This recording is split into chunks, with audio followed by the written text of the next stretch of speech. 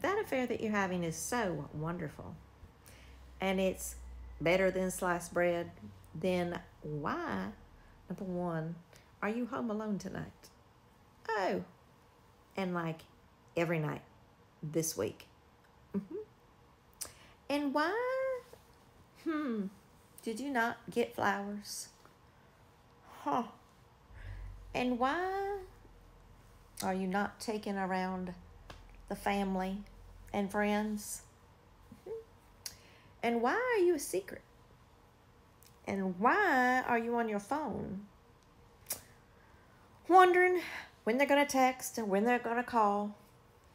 And if you have plans, you drop them all because they're so wonderful in making plans that you're able to plan your day because they think of you so highly and so wonderful that they want to have you rested and relaxed and have a date plan and social chivalry.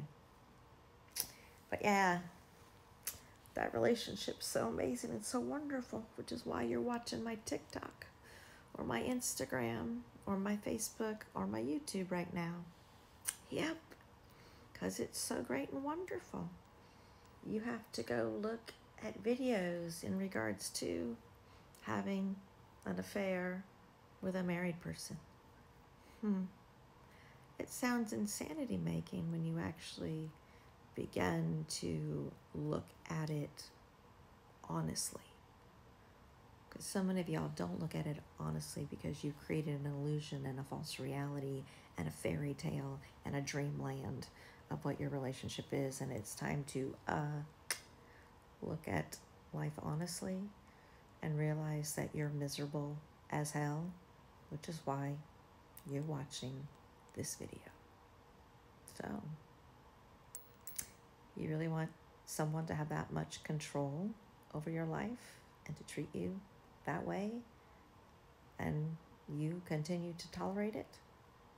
Because there's only one person that can end this insanity, and it's not them.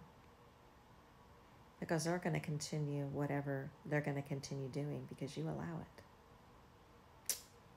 Yep. There's only one person that can stop it, and that's you. So, when are you ready to stop it? Because the life that you're living is crazy making.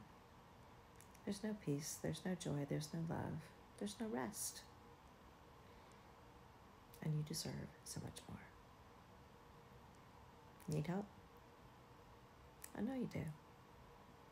Go sign up on my link tree or go sign up on my web today. I look forward to seeing you soon.